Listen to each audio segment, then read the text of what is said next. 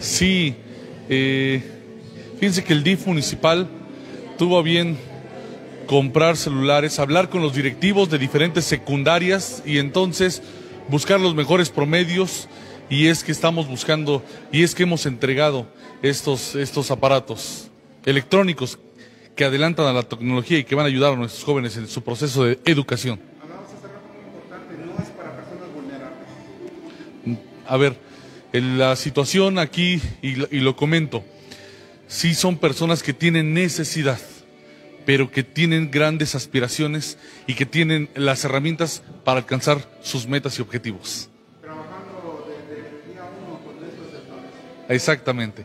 Esta- estamos muy, muy felices y me, me siento muy, muy agradecido por el trabajo que el DIF municipal, que la junta del DIF municipal, que le integran mis compañeros regidores, eh, que todos los que integran finalmente este tipo de iniciativas logran. Miren los resultados. Se seguirá trabajando fomentar Se seguirá trabajando y se seguirá fomentando los mecanismos que ayuden en la educación.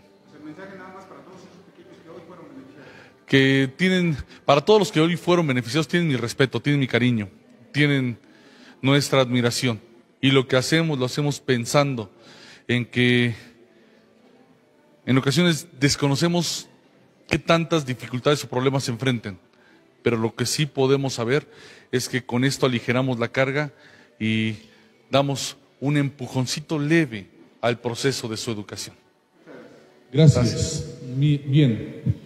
Eh, esta tarde me siento muy contento. Gracias, maestras, por estar al pendiente. Gracias por ser testigos de lo que viene haciendo el sistema municipal DIF.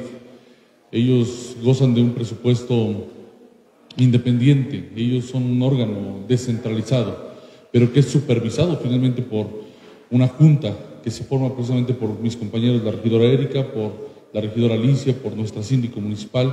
Y debo reconocer el trabajo que hace todo el DIF municipal, que encabeza